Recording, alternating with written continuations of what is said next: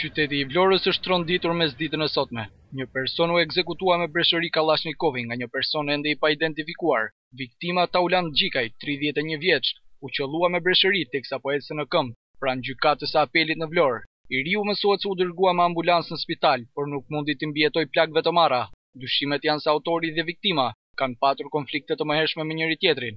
I riu është djali i një ish-polici, ndërsa mësohet se është ndaluar disa herë nga policia për armëmbajtje pa leje. Pak momente pas ekzekutimit, nga këqyrja e trupit të viktimës, policia i gjeti një armë zjarri në brez.